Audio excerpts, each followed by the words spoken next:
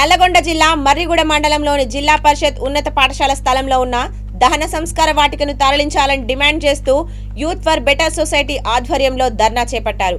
పాఠశాల నుండి విద్యార్థులతో నిరసన ర్యాలీ నిర్వహించారు.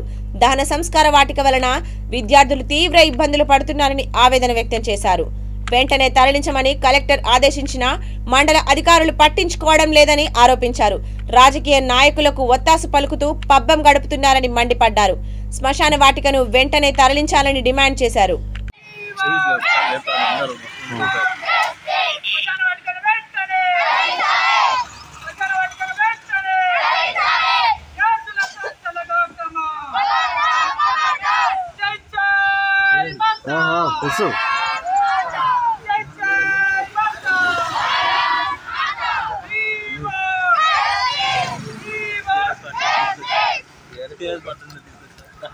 అందుకే నిలబడతాడు నిన్న ఇట్లానే చెప్తున్నా మరి. మా మీద నిలబడద్దు పాట నాయన.